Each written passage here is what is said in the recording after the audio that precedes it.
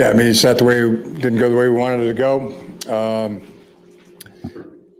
Players played hard, you know, now they're gonna have to strengthen the resolve, you know. Yeah. Good afternoon, everybody. Dennis Fithian with this uh, afternoon live. Welcome in TMBR, the Maize and Blue review, as we get ready to get things underway here on this uh, YouTube live on this November the 1st. And uh, I do want to thank uh, Brad Galli over there at Channel 7. That was Jim Harbaugh after the game on Saturday up in East Lansing talking about uh, strengthening their resolve moving forward. We'll get to that. We'll look back at the game and why Michigan uh, ended up losing uh, to Michigan State up there in East Lansing when things were looking so good at different times for the uh, Wolverines. Also, a couple features here that I, I hope to get to daily.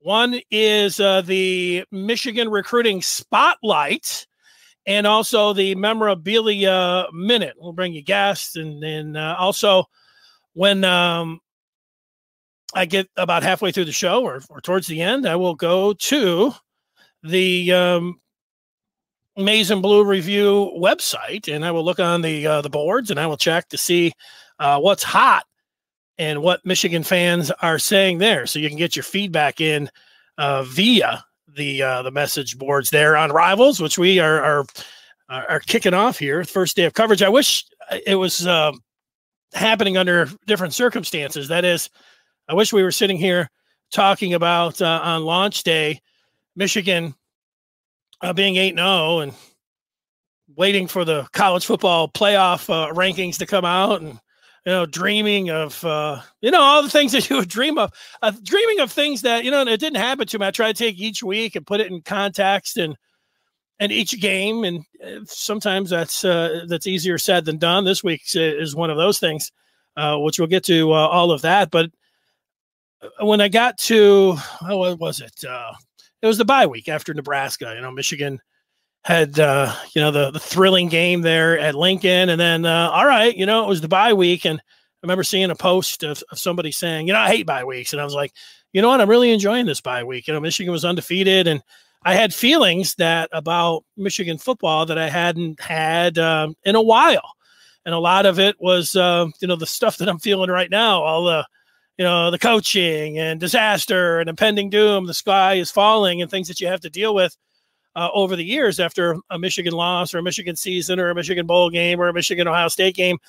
Uh, those all came flooding back this weekend. But during the bye week, it was uh, it was it was so much fun. It wasn't a relief. It was uh, it was it was just great feeling, you know, great vibe. All of those uh, kind of things. You just sit back and say, you know what? Uh, it's fun talking about the coaching staff, head coach, uh, young staff. It was uh, great. Take either side of the ball, all three position whatever you wanted to do, all three phases of the game. Uh, everybody was playing, if not uh, well, you know, you could. Uh, you know, Michigan was undefeated. it was things were looking good, and they had a Northwestern team in front of them. But then we knew the second half of the season, we want to call them tougher games, landmines, whatever else, and one of them was going to be up in East Lansing from what we had seen from uh, Michigan State. I didn't know how good Michigan State was going to be, and you know what? They got a great running back. They there's no doubting of that right now. There's no uh, going around uh, Kenneth Walker third and what he was able to do. So the first thing that I'll I'll tackle is uh, I'll answer the question why I thought Michigan lost the game, and it's KW5, Kenneth Walker, the, the third, the fourth, the fifth touchdown. I mean, you can have a guy make some plays and get some yards after contact and and have a, a 27 yard touchdown run. But when it starts to get, you know, here's a 60 and and then too many broken tackles and then too many fourth and ones, then the uh the touchdowns and the two point conversions – clearly it was too much to take and and those big plays and the big plays in this one and it all started towards the end of the the first quarter uh, michigan state uh, before they got into the second quarter, they went with some tempo and they got Michigan running off the field. And I was like, okay, you know, that's going to happen sometimes, but that was uh, foreshadowing of what was going to happen and going to be a problem for Michigan all game long. If they weren't getting penalized for having people running off the field, they were running around not in position while, you know, State had scouted them. And that was something that they were going to spring on them. And it worked very effectively, obviously. You know, State got that that touchdown run the first play of the second quarter. And then when they um they got another touchdown there in the in the second quarter. Remember when they had the fourth and one, they had a, a 40 yard floater over the middle and then they're down to like the five yard line. Michigan, uh, they had players running all uh, and, and Walker went around and scored. They didn't call that one for too many men on the field uh, for Michigan there, but they only had like I don't know eight guys, and you know Walker went around, and of course they uh, they didn't have to accept that penalty. So it it, it was happening all the way through, and uh, you know you, you you credit the opponent, and then you wonder if Michigan at half how much they did talk about that. And I know Jim Harbaugh did speak just moments ago, and uh, we've had some of that audio. I, I also see that um, uh, some of the writers were uh, live tweeting during the news conference. Angelique Chengelis from the Detroit News, she uh, asked about the um, second fumble. Here's one. Also, uh, she asked about uh, Michigan being in position. And I'll see if I can find that. Uh, I thought I had it right in front of me here, but I don't. Asked Harbaugh about the fumble.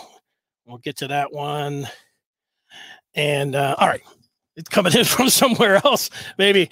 But um, yeah, that, that was an issue. Uh, yards after contact, big plays. And then Michigan really, uh, they were in fabulous position, thinking about um, you know, being up 16 points in the third quarter and all the plays that Michigan State had to make, get the touchdowns and the two point conversions uh, to put themselves in position to tie that game and then ultimately take the lead. You know, Michigan's defense, the one of the things for me, and you know, that's going to happen. You're going to have an opponent that sits on some kind of tendency and springs it on you, and you're not uh, quick to be able to make the adjustment. It was a it was a factor for sure. How big it was a it was a huge factor to me. Talking about the tempo, but then it got to just repeated play after repeated big play by Michigan State that they had to just keep making. And then they also were making plays that were getting reviewed a lot. And then they just kept uh, getting the uh, the break there. And, and you know what? If it wasn't for the um, was it the second review? Because the first one was the uh, Kenneth Walker bobble. Uh, the second one was the targeting on Haskins. The third one was the Ojabo Hutchinson, the Ojabo strip and the Hutchinson uh, touchdown you know, if uh, if that one is called to the standard that it's supposed to be called, like uh, the Kenneth Walker touchdown, where it looked like you could make a case that you know maybe it was just starting to move before he hit the plane of the goal, you could make that case. You know what? There was it. It wasn't irrefutable video evidence. And you know what? When uh, the targeting call on Haskins, however you believe about guys getting thrown out or what, you know, Haskins had not, he wasn't a, a, defenseless player at that point. He was still moving forward a little bit. And the player did come in and, and, and got him as he was going down with his shoulder. And it was to the, to the helmet neck uh, area, but he, w- he wasn't a defenseless player at that point. I thought that was a, a good call and a good review. But also on the, on the strip and the touchdown, like it was the call on the field. It, it was too close. You can't tell me for sure that he had that ball. In fact, it looked like the ball started to move before that shin went down. And to you know to add to the matters there, because it is tough if you're a Michigan fan to try to be uh, objective and and we all see things a little bit differently. Uh, we know that. But the thing to me is that you got the guys on the call, and here's the, the quote from Joel Klatt: "Not seeing the look of clear and obvious." And then they bring in Mike Pereira, who says this one that is so close. What did they rule on the field? Based on the fact that they ruled fumble on the field, Joel, I don't think they can change this. Well, they did change it. So when you have one that's taken from you right there, and Michigan's going to go up and uh, have 27 points at the half, and then the ensuing video rec- replays, I, I think like the one that was picked up off the field and, and, and went. I, I, thought that was a, the, the correct call, and the other ones, I think that went Michigan State's way on the video review went the right way too. But they clearly got that one wrong, which was a huge play. It was a seven touchdown or a seven point play. Six for sure. Seven. Let's make it seven. You know when you're kicking right there from uh, in Moody's automatic on extra point. So you know that part with the with the calls is. Um, uh, the video review, and that's what we've seen it in all sports. This isn't the fir- isn't the first time, and you have to overcome that. And then late in the game, on the second from last um, drive that Michigan has on offense, when Cornelius Johnson, the, the defender, has his arm draped around him, now, that should have been a defensive pass interference. I mean, clearly, those are the two calls you know that I'm going to go to. But yeah, have we seen missed calls and a defensive pass interference late in a game? The ref wants to keep his you know, uh, flag in his pocket, you know, that kind of thing. We've seen it and we've seen botched reviews, but all of the other reviews, I think there were seven reviews and they all went Michigan State's way. I mean, come on. So to, to make it clear and concise, when we tell people why did you think Michigan lost the game, the first thing that I say is Kenneth Walker. Michigan had him hemmed in a few times and it was yards after contact. And yeah, I, like it's the obvious thing. The guy scored five touchdowns. And when you say, well, it was the offense, you know, having to settle for field goals, I've seen a little bit of that. So, you know, the offense has their share. Sure. You know, Blake Corum on Michigan's uh, second offensive possession of the game. They're up already seven to nothing. But, you know, Corum on that third down has that ball, you know, hit him right in, in the two. He probably would have gone in for a touchdown there. Could have. It looked like it. You can certainly make the case 14 nothing. You know, that's a big play. Michigan flinched to their tight end on another uh, fourth down run before when they um, had the fake. They had a hard time uh, with the execution of the punt. You know, there's another one. Uh, Andrel Anthony, a star is born in this game from what he did with that uh, the first touchdown, second touchdown, and the catches that he was making uh, during this game. We saw it right in front of our eyes. It was a great story. The kid from East Lansing, but on Michigan's um, uh, Michigan's other drive there, you go down. Let's see which one it was, just so uh, we can get it exact. It was um, Michigan's third offensive possession. You know, they that was after Dax Hill tipped it. Mike Morris gets the interception. Michigan goes down. They give it to Cornelius Johnson on a reverse. He's got it down to the five for a first down, and they call Andrel Anthony for a hold. That was a very nitpicky hold if you go back by, by anybody's standard. And did he turn him? Did he have his hands? I didn't even see any of that. It looked more, trying to be objective, it looked more to me like that was defensive holding than than holding on uh on number one for the Wolverines. So I know. So there's three calls, and I know I know there's other ones. People taking pictures, and it, it looked a lot like Morris was being held. And, and and you know I saw that live when I was watching the game. I saw a few of those. You do have to overcome uh, those things.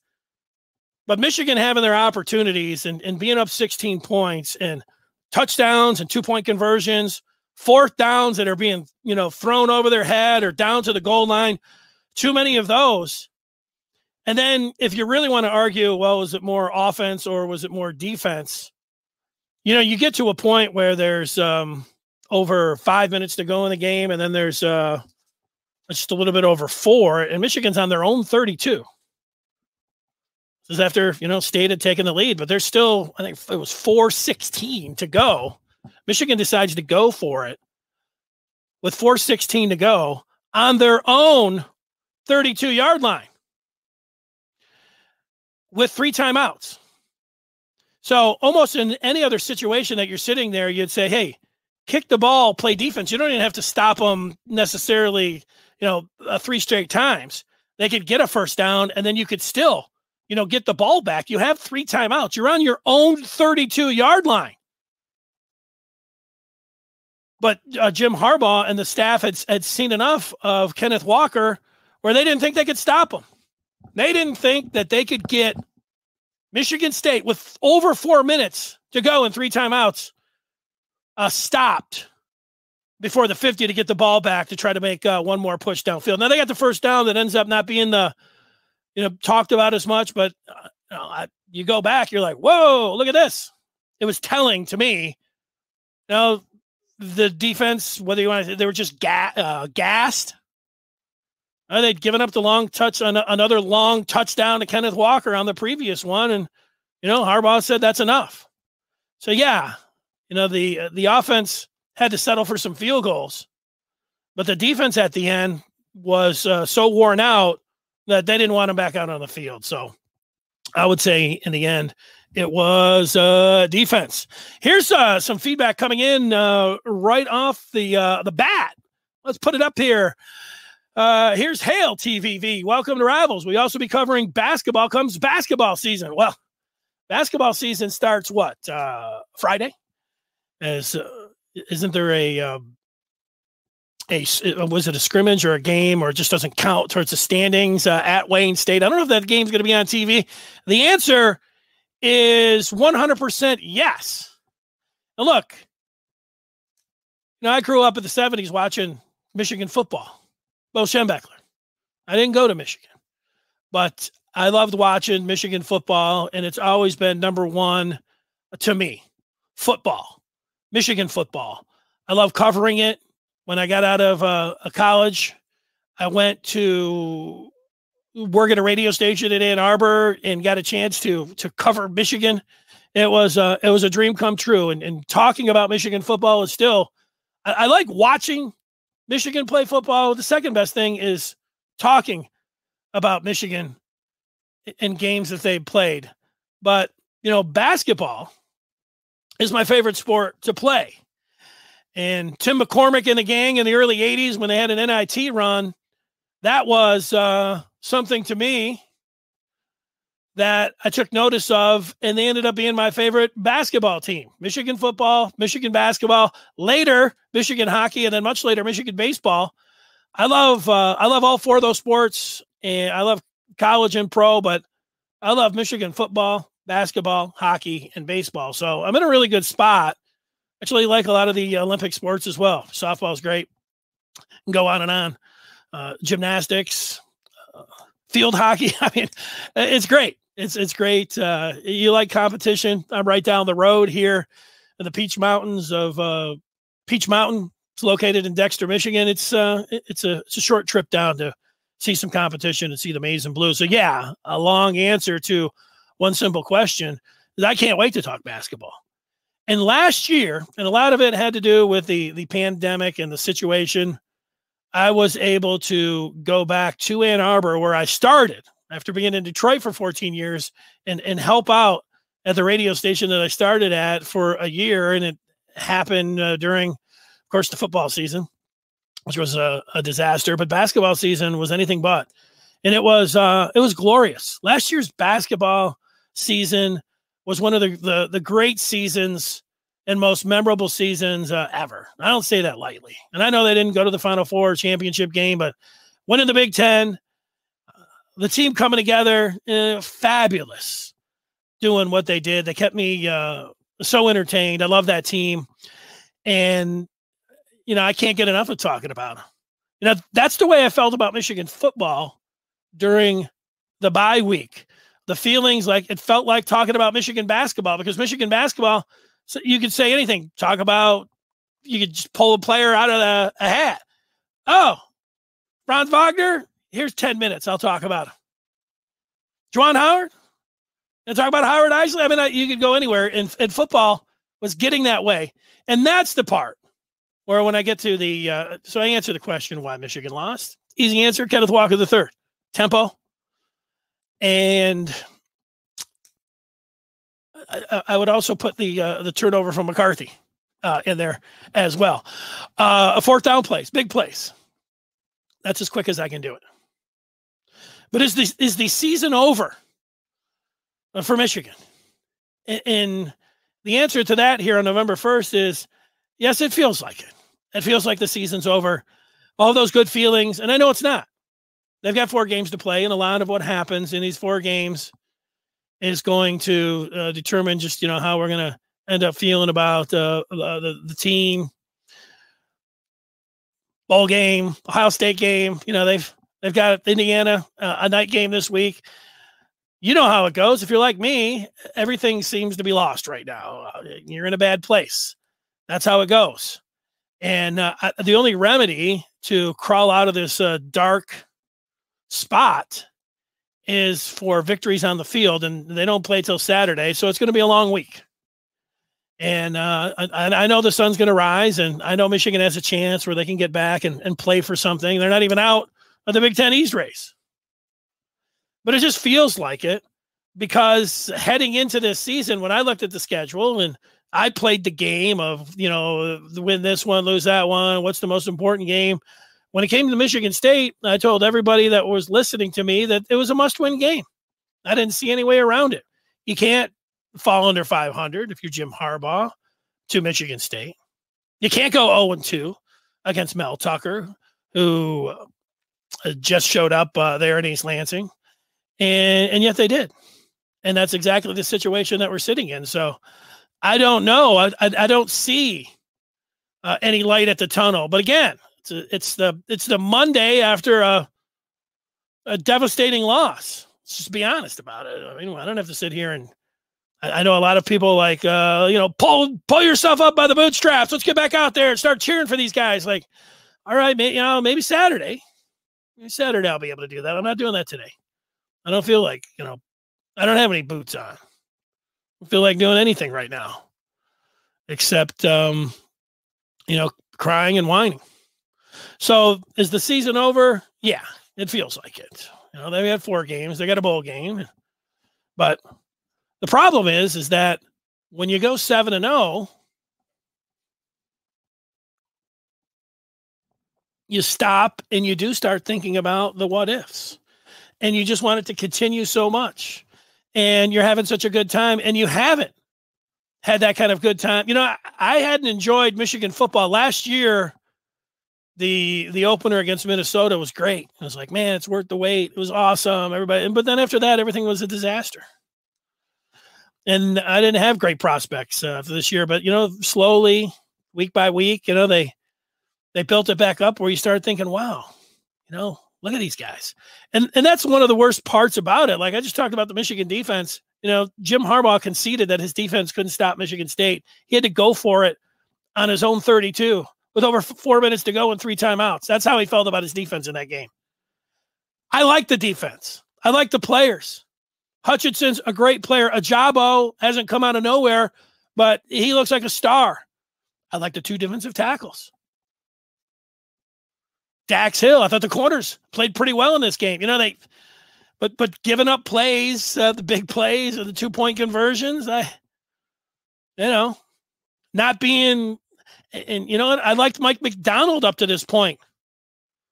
But when it came down to it in a big game, the 33 year old didn't have the answers and got out coached. And, and that goes to his head coach and that goes to the defensive coordinator and anybody else. It's the staff. So that gets us to the other question how much of this is on Jim Harbaugh? Well, everything comes back to the head coach. Jim Harbaugh was the one inserting the quarterbacks and, and, and playing revolver with the QB. We always knew that was dangerous. And we know that uh, McCarthy could hit the transfer portal and, you know, that McNamara with the free year and him being a, in effect, a redshirt freshman, he could have three more seasons after this. So playing both of them, you understand it. But you also understand that do you want to ha- do you want to win the game that you're in? Or do you want to worry about, you know, pacifying some players or or you know, you have your plan? I don't know what happened after the second fumble. You know, Cade was working through something. Cade was in the tent. Cade was this, Cade was that. JJ was this, same thing. But you know what? There's a there's a there's reasons that it's never worked almost in the history of college football you know, doing like the old ball coach, bringing a player in, bringing a quarterback in, this snap, sending him out, sending the other guy in. It, just you, got it's the one position you you need. You need rhythm. You you need to have the rest of the team believe in you. And you know what the the thing that that stands out the most to me on the the whole thing with the the QB and whatever it ended up coming down to if you know, they had to put McCarthy in after his fumble because of McNamara was dealing with something. He did get that blitz that came off the corner, got his bell rung, hung in there. then there was another series after that. The thing is, when you get a guy at the quarterback position, McNamara was having a fantastic game. Not every throw was perfect. Yeah, they're really going, throwing behind Blake Corum. Even when they got down there and had to uh, settle for the field goal at the end of the first half, you know, he had he, he, he overshot Anthony. He didn't let Kojo get a play on the ball in the corner of the end zone. So not every pass was perfect, but you know, he had some crossing routes. And when they went up 16, when he threw that one to Sanders still and he he had the pose, the Paul Bunyan pose. It was a money ball. He was clicking. He was cooking. And that's where it comes back to the coach. And You say, you know what? You have to decide when you got a guy that's going like that. It, it's like in Hoosiers, Jimmy Chitwood needed to shoot the last shot because he'll make it, coach. Cade should have been in there, especially after that fumble, maybe even before that fumble. So, yeah, that's going to fall back onto the head coach. And, uh, and, and what else falls on the head coach? Uh, the tempo issue. Oh, Mike Macdonald, you know, Michigan was exposed to that. They couldn't, the, the guys were standing up, they were running all around. You know, the head coach has got to coordinate all that. I know he gives a lot of responsibility to his coordinators. Didn't work well for him. So the tempo, the quarterback shuffle. And ultimately, we're sitting here. You can say, "Well, look at how much, how many yards the offense put up, and they got screwed on a couple calls." You're gonna put that on Harbaugh? Well, it's cumulative as well. Harbaugh's now, oh, three and four against Michigan State. And yeah, you know what? The one came down with, a, with the snap at the very end of the game. Another one, you know, was a rain soaked, you know, game where he had to, you know, put in his third or fourth string quarterback. And then there's this one. And then there's last year that they weren't prepared for when they were a 20 point favorite. I mean, I don't know. Yeah, it has a little bit of the effect in a rivalry game and in a big game where you say, hey, and individually, yeah, just this game, tempo, and the quarterback shuffle. But you know what? You had Mark Dantonio put in the rearview mirror. Mel Tucker comes in, uh, hits the portal, got transfers left and right, and you, know, you can't. You got to win the game. It becomes a, a bottom line situation. But yeah, and like Jim Harbaugh understand this is I know a lot of Michigan fans like take it easy on Jim Harbaugh. Are you a Michigan guy or not? Like not doing any good. Everybody else is ripping him. Well, you don't have to sit and rip him every day. You don't have to rip him every week. But if there's the question that needs to be answered, does Jim Harbaugh deserve a little criticism uh, for his coaching against Michigan State in this game and for the last two years and for his time here? The answer is yes. And he knows that. So it's not piling on, it's just answering a question. And yes, outside of Ann Arbor, and certainly if you're not a Michigan fan, it gets sickening and it's the worst, it is one of the, you know, terrible parts about uh, about being a fan right now is that yeah, people are will attack Jim Harbaugh, and then it becomes one of these where you feel like I don't want to hear any of this. Stop it! And now even our local guys and even our guys that are supposed to be like the Uber fans are doing it too. Deal with it. Deal with that you know what? Yeah, he deserves criticism here, and you don't have to give it to him, wear him out every day on it, but he knows it and uh, he wears it. You have to wear it. Got to put on those big boy khakis and, and take it. And you know, it, it, it happens. People, when you have a post game, like he had up in East Lansing, you know, I'm getting texts. Oh, Jim looked like he was like, come on, but he's got to take some uh, some criticism. All right, let's get some. Uh, let's let's get some. Let's get some audio in here, and let's the the first, and we'll have the recruiting Michigan recruiting spotlight coming up. I'll also have the memorabilia minute that I'm going to want to get to. Uh, you know, here's somebody. I said a star was born. Uh, Andrel Anthony had the 93 yard lightning bolt. And then, you know, the kids from Eastland, it's the greatest story ever. But then he's coming back. He's the second series. Yeah, here he is catching another ball. Here he is with another touchdown. He almost had three.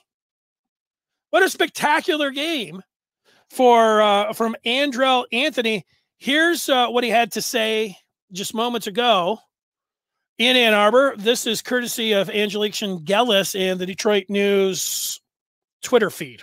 Here's Anthony. Well, first to say, I mean, it's kind of like it was exciting, obviously, stuff like that. But I mean, like being able to be put in position by like coaches, stuff like that, players even paid, giving the opportunity, stuff like that. I mean, it meant like the world to me. Just like the coaches, like, yeah, I'm a true freshman, stuff like that. They really like believe in me. That meant a lot to me.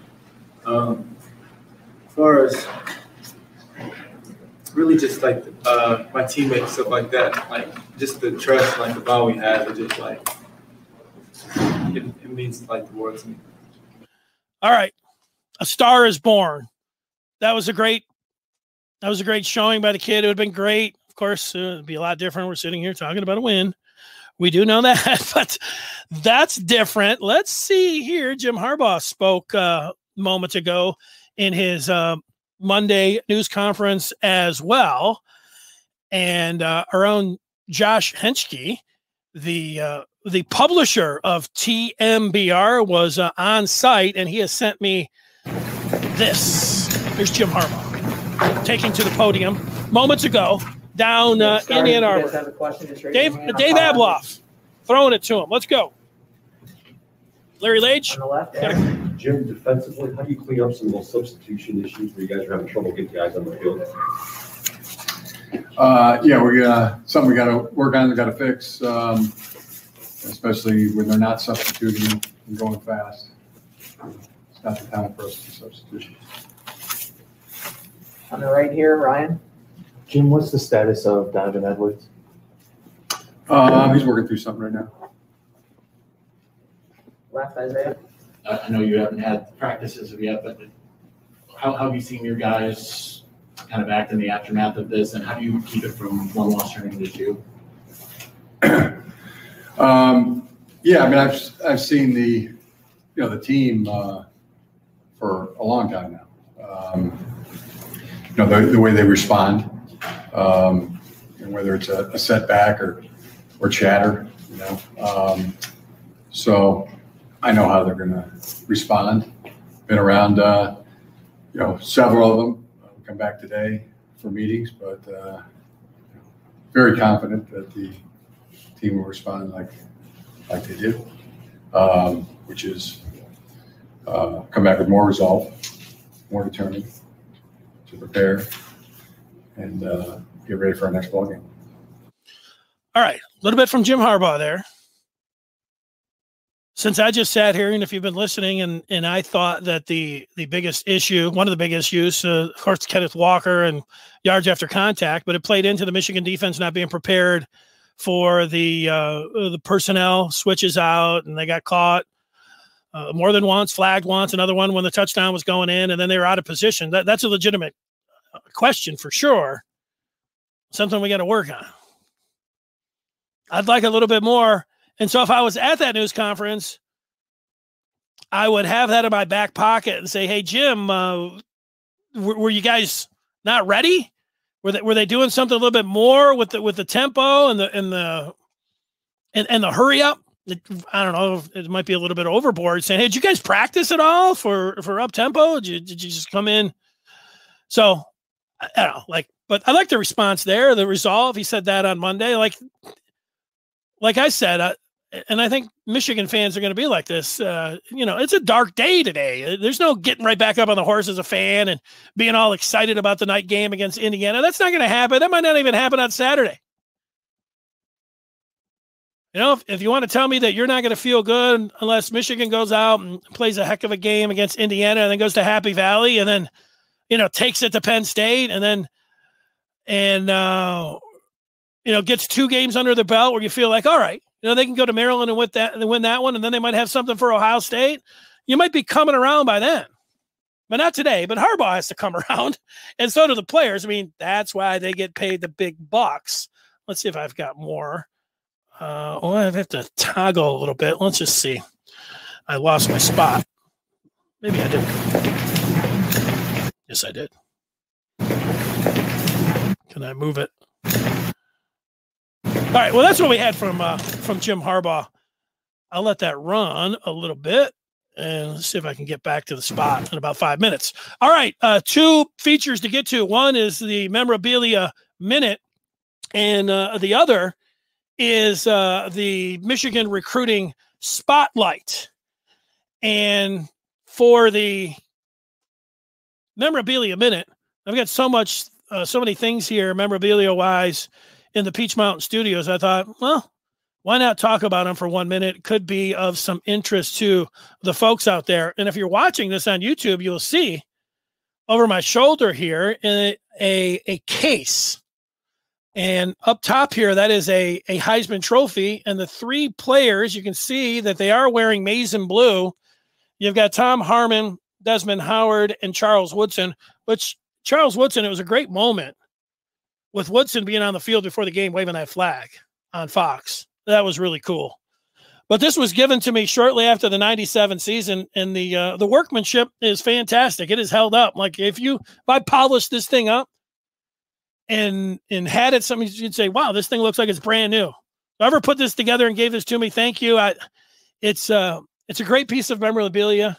It's been in uh, in multiple on air studios and I wouldn't sell it for a mil. I'd sell it for a mil. I wouldn't sell it for I don't know. I wouldn't sell it for 500 bucks. You're going to have to get up into the thousands before I would think about moving on for that one. Once you get to about a thousand, I think I could start building my own maybe and pocket half the cash or maybe 90% of it. So that's the uh, memorabilia minute. My, I, I went with the big piece right off the bat.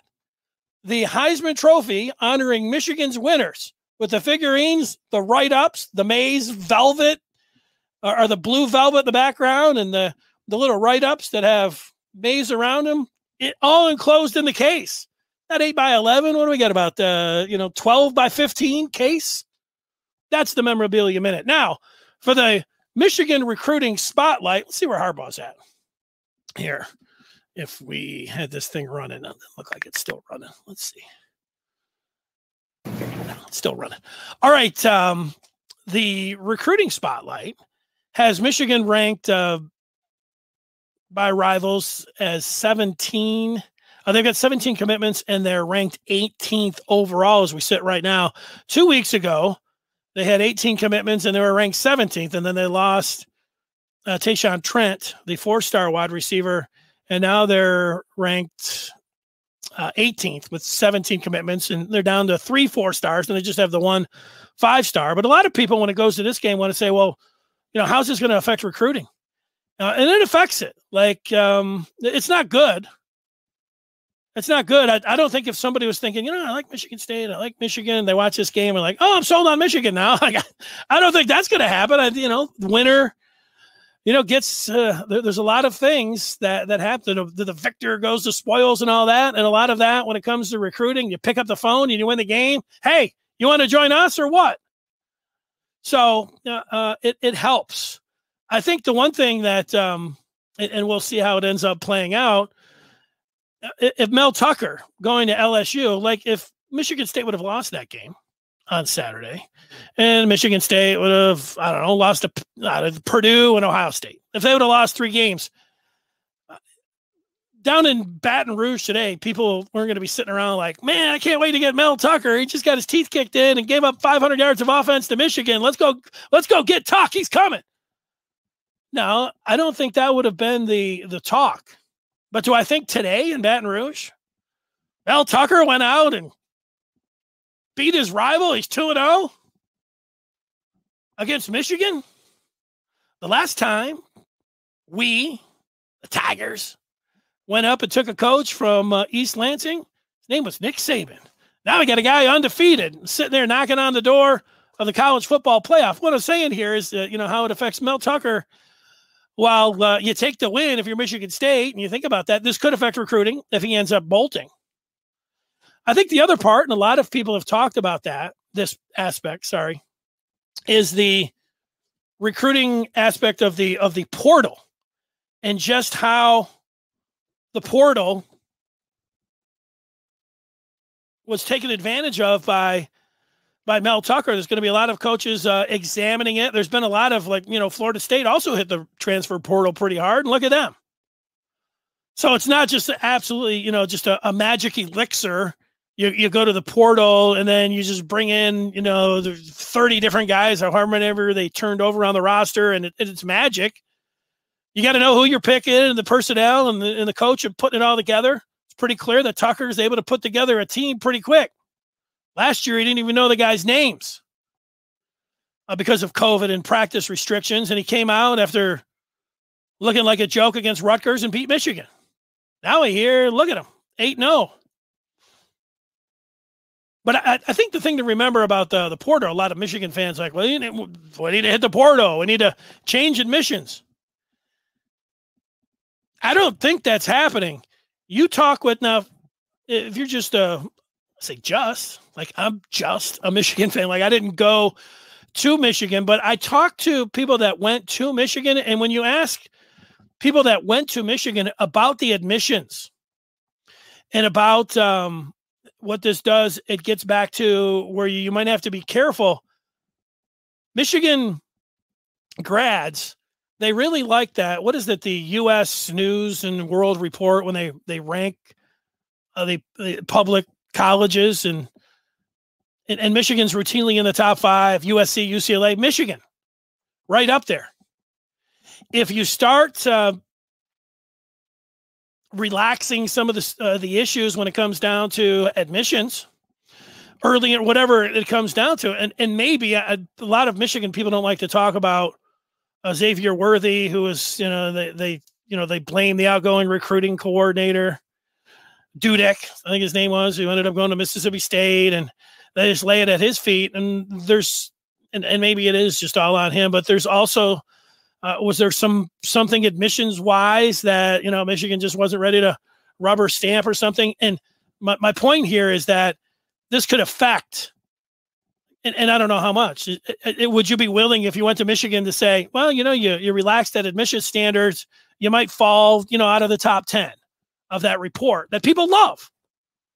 You talk to you talk to Michigan alums, and they're always talking about, hey, we're the number one or number two or we're top five when it comes down to that report. They love it.